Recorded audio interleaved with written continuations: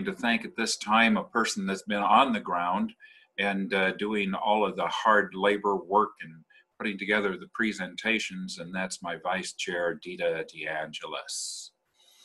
We'd like to move right on into the interviewing of our and introductions to the board of directors.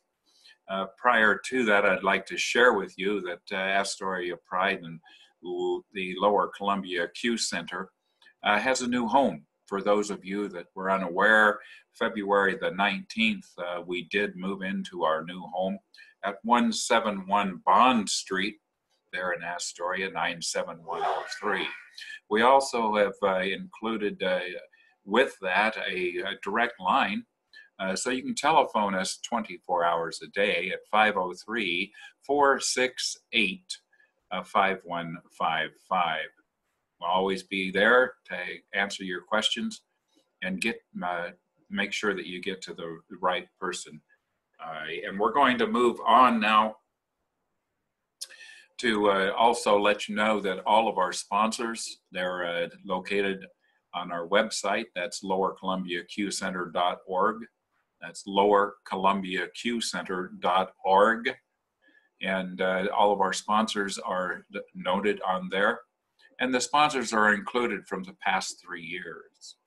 We certainly do like to have donations. And so if you'd like to donate, I know it's been a terrible time uh, with the pandemic and people out of uh, work. Uh, and not only that, the current situation uh, with uh, everybody being involved with uh, a tremendous loss back east. But if you would like to donate, you can go to the Lower Columbia Q Center website. That's lowercolumbiaqcenter.org, and there's a donation button. We also can receive mail at 171 West Bond. So uh, enjoy. Um, tomorrow night on Friday is Act One. Saturday night, Act Two. And both of those will be shown live at Heritage Square. That's Heritage Square on Duane and 12th. And that'll happen at uh, 10 o'clock in the evening.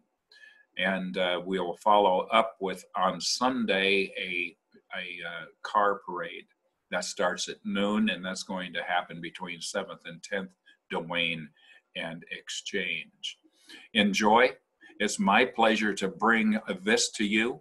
It's also my pleasure to in, in, introduce uh, the uh, board of directors and the ambassadors. The ambassadors range all the way from north uh, along the Long Beach Peninsula, uh, all the way uh, through Pacific County, up uh, the Columbia River, Napa, Swenson.